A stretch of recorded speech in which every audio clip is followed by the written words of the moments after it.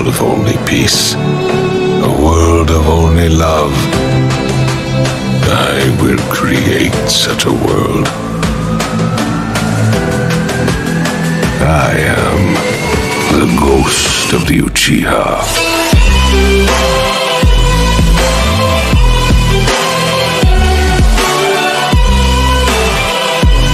For truly this reality is a hell.